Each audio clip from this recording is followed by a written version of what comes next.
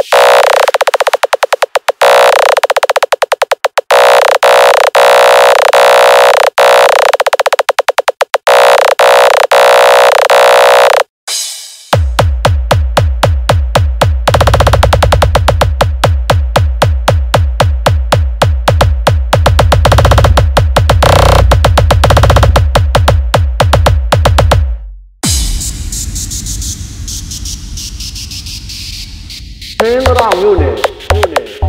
ဗံပရာတိုင်းအုပ်စုအုပ်စု